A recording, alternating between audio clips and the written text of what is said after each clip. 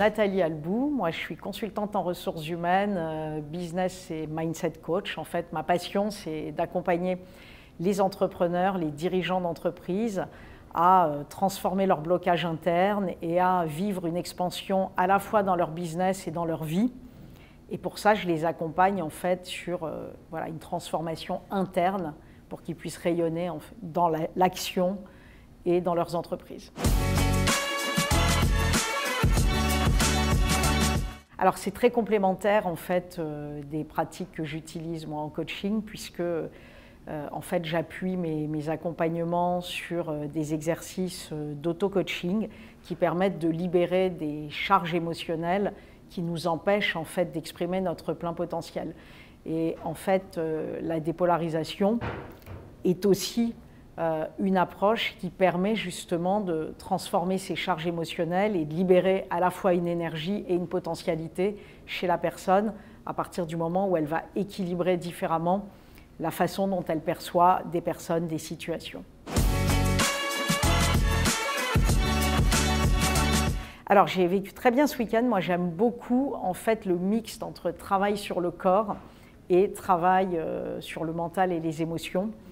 Euh, donc euh, la partie euh, chiropractique avec la libération de blocages qui sont engrammés dans le corps. c'est quelque chose que j'ai ressenti vraiment de manière très puissante. Et aussi, j'ai été bluffée par la justesse avec laquelle les deux chiros ont vraiment bah, mis le doigt pour moi sur des blocages et des choses qui correspondent à mon actualité, sans même en fait que je parle avec eux de ce que je peux vivre en ce moment. Et du coup, je trouve qu'il y a une belle complémentarité entre justement bah, le travail de dépolarisation qui passe quand même par le mental, puisqu'on doit identifier des événements, des traits de caractère, des situations, on doit revivre ces moments dans le corps, mais au départ, on va les revivre mentalement. Alors qu'en fait, le travail de la chiro court-circuite complètement ces schémas mentaux pour directement aller mettre le doigt euh, là où finalement il y a une énergie à libérer dans le corps. Alors, sur la partie euh, dépôt, euh, euh, j'ai travaillé en fait sur des choses qui sont assez ancrées, assez anciennes, des, jugements qui sont, assez anciens. Et bon, c'était important pour moi de travailler là-dessus, puisque du coup, ça m'a permis de rééquilibrer ma perception sur ces blocages. Euh, ce qui est sûr, c'est que le travail sur le corps a mis le doigt sur euh, les challenges que j'ai en ce moment, sur les ambitions et aspirations que j'ai en ce moment, et donc m'a aidé à libérer de l'énergie dans cet espace-là.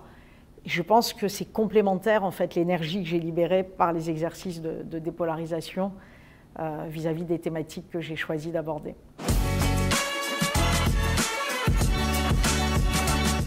Je me sens encore plus alignée avec ma vision.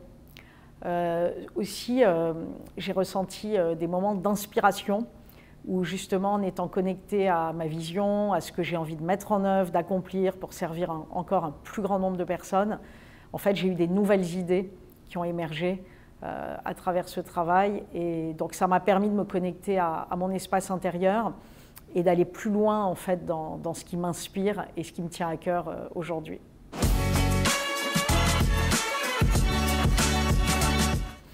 juste de s'autoriser à vivre l'expérience. En fait, personne ne pourra te dire ce que tu vas ressentir une fois que tu l'auras fait, parce que c'est totalement personnel et, tout dépend de où tu en es de ton évolution. Maintenant, euh, il y a un cadre où on se sent en toute sécurité, aussi bien avec euh, l'approche de Pierre qu'avec euh, l'approche de Marine et de Mathias. Donc, bah, tu peux venir en confiance, expérimenter et voilà, t'autoriser à, lâcher ce qui t'empêche de vivre ce qui t'appelle.